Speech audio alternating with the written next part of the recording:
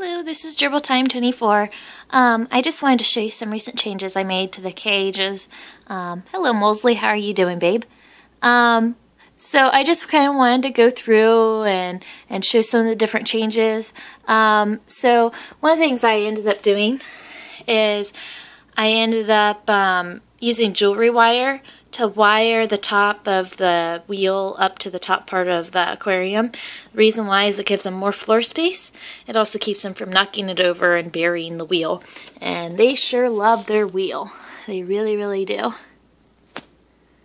Um, I also kind of wanted to show you, I'm going to be cleaning their cage soon, but I sort of wanted to just kind of show you how elaborate their tunnels are. It's really pretty neat. You can only see really one part of the cage, but um, as you can see, they have like a tunnel that goes through there. There's Fudge. How are you doing there? Um, you can also see that they have a tunnel under their little wood thing. They have plenty of little hiding places. Um, they excavate all this themselves. Um, a lot of times if you give them like twigs or something, they'll actually go through and um, they'll actually go through, bring them underground and use them as supports for their tunnels. And um, they just have lots of little areas to hide, um, as you can see. It's really pretty neat. Um, I'll be cleaning their aquarium here soon. You can see all sorts of little seeds and little things that they've hidden in here.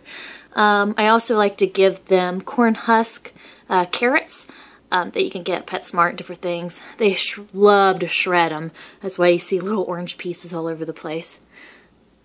So that's basically um, how it's set up right now. I'll be sure to take some video footage of once I clean them um, because they're pretty funny to watch because they'll be rebuilding all their little tunnels and everything like that. So um, as you can see, they buried their little, uh, they buried their their little log cabin, um, but they can still get in and out of their entrance. They have a little tunnel there. And um, they have a little exit here over by their bendy bridge. They have some tunnels surrounding that as well. So, yeah.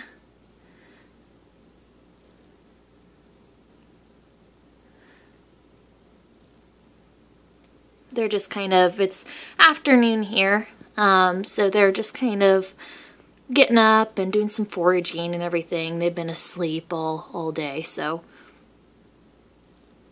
they're just kind of gradually waking up.